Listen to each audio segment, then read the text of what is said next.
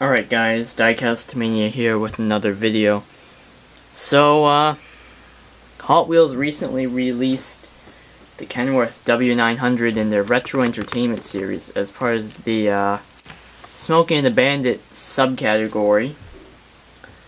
This isn't the first rig that Hot Wheels has done, but it is the first licensed rig casting that's been used in a long time.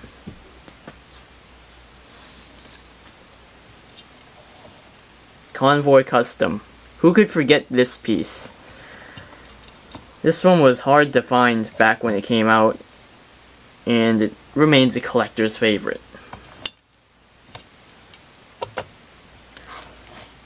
Long Gone, Long Shot. This one was also another uh, crazy hard to find piece as um, they were quite popular. And the Thunder Roller, 1983 release, and the 2013,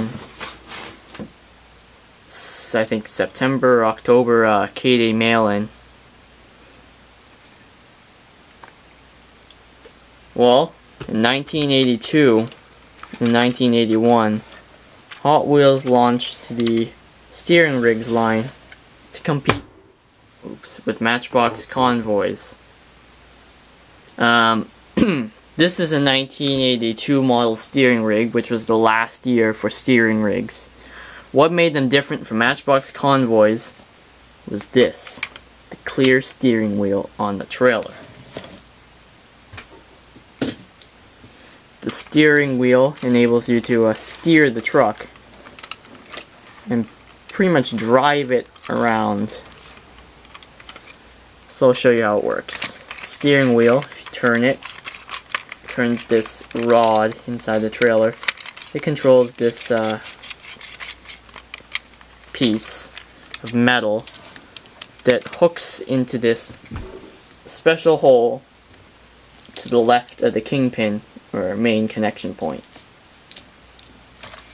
So basically you just drop it on there and you're ready to go. So there's rubber tires on the back wheels of the trailer and on the mid wheels or middle wheels of the truck. This is a Mack U600 truck. Um, first thing you may notice off the bat is the really short engine compartment and the offset cab. The advantage of this design was that the uh, driver could uh, navigate and steer a lot easier than on one of these trucks where they had to look straight over the long hood. So he'd be right over here and he'd be able to uh, see the road and uh, exactly where he's driving and turning. And they had a impressive steering radius due to the um, short wheelbase and the shorter um, engine compartment which made visibility and turning a lot easier. So I'll show you the details on the truck, the exhaust stack, some lines and stuff like that, the kingpin. The cab's real nicely detailed, all the air horns and running lights, and the air intake slash air cleaner. Very nice piece two fuel tanks, the differentials, the bottom of the uh, Maxidyne engine, and the uh, transmission. Maxidyne was the uh, branding that Mack used for their own eng diesel engines back in the 70s uh, and 80s. They also did a uh, single pack version.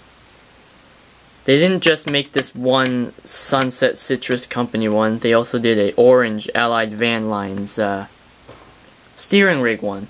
That one is pretty hard to find as well, along with any of the Mack U600 steering rigs.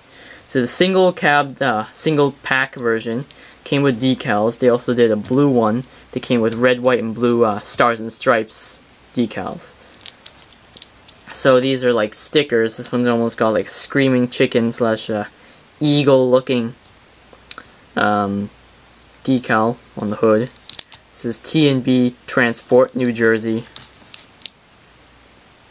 Basically the same exact casting, except for one minor detail.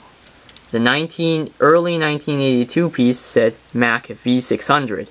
This was a big mistake as Mack never made a V series. They only made the U600 series and the uh, R series. Of course, this one's a uh, U series Mack. And on the other one, the late 1982 version, V600 is completely blocked out. Um, they probably picked up on that mistake or they probably got a few angry phone calls from Mack telling them they made a big mistake. They also changed the style of riv rivets they used, so I'm questioning maybe the fact this one could have been from a different factory as they made these in uh, Hong Kong and uh, France as well. So anyway, that uh, ends the video on the uh, Hot Wheels Steering Rigs 1982 Mack U600. Thanks for watching and have a great day. Bye.